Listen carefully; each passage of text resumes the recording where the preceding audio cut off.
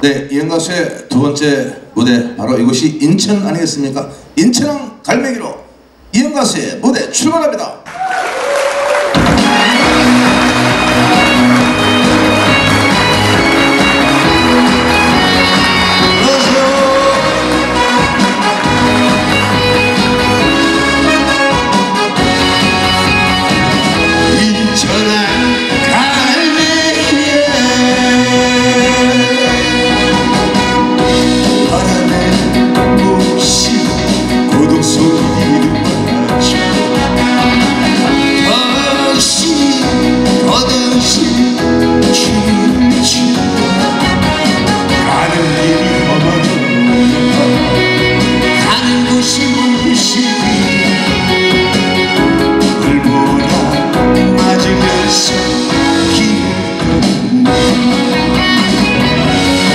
de